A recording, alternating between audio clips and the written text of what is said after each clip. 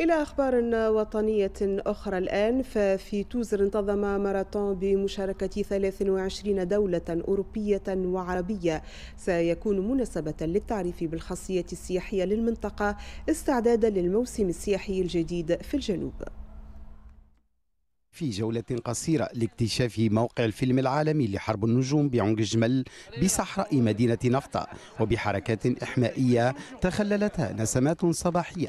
لحظات استغلها المتسابقون وأبطال العدو الريفي من 23 دولة أوروبية وعربية للمشاركة في الدورة الثانية من ماراثون إلترا ميراج 100 كيلومتر. جينا لهنا في نطاق المشاركة في الألترا ميراج هذه deuxième édition فما جانب واحد كل ما شيء يجريوا معنا إن شاء الله يمشيوا بانطباع باهي. ونحن نكونوا parmi معناتها الناس اللي آه، تعمل finisher وتعمل وقت باهي It's my first time in Tunisia and it's uh, it was it's هي المرة. الأولى التي أزور فيها تونس ولقد سمعت الكثير عن هذا السباق. لذا كان من المهم المشاركة فيه واكتشاف مكان جديد وهذا السباق هو تحد بالنسبة لي. Uh, إلترا ميراج هي ثمرة نجاح تضافر جهود المؤسسة الخاصة والعامة.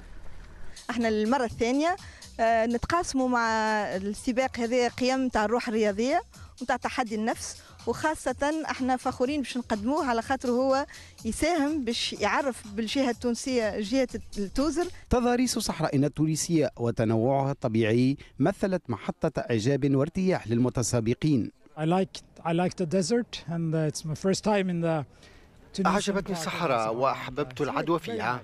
ولم ترهقني حرارة الطقس لأني متعود على مناخ منطقة الشرق الأوسط وجنوب أوروبا.